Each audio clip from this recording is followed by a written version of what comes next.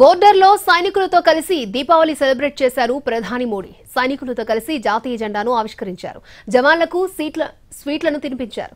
ప్రధాని నరేంద్ర మోడీ హిమాచల్ ప్రదేశ్లోని లేప్చా సైనిక శిబిరాన్ని సందర్శించారు.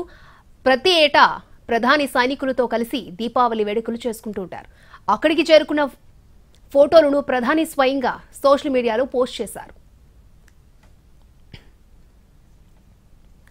ధైర్యవంతమైన భద్రతా బలగాలతో కలిసి పండగ చేసుకోవడం గర్వంగా ఉందన్నారు. మిలిటరీ దుస్తులు ధరించిన మోడీ స్థానికులతో ముచ్చటించారు. సరిహద్దులో సైనిక కుటుంబ సభ్యులతో కలిసి దీపావళి వేడుకలను జరుపుకోవడం సంతోషాన్ని ఇస్తుందన్నారు ప్రధాని మోడీ. రెండు వేల పద్నాలుగులో అధికారంలోకి వచ్చినప్పటి నుంచి మోదీ ఏటా సరిహద్దుల్లో సైనికులతో కలిసి దీపావళి వేడుకలు చేసుకుంటున్నారు. దళాలతో ముచ్చటించి వారికి స్వీట్లు తినిపించి సరదాగా గడుపుతూ వారిలో స్ఫూర్తిని నింపుతున్నారు. రెండు వేల పద్నాలుగులో మోడీ తొలిసారి సియాచిన్లో సైనికులతో కలిసి దీపావళి వేడుకల్లో పాల్గొన్నారు. గత ఏడాది కార్గిల్లో వేడుకలు చేసుకున్నారు. మరోవైపు ఇవాళ హిమాచల్కు వెళ్ళడానికి ముందు సోషల్ మీడియాలో దేశ ప్రజలకు దీపావళి శుభాకాంక్షలు తెలియజేశారు ప్రధాని మోడీ.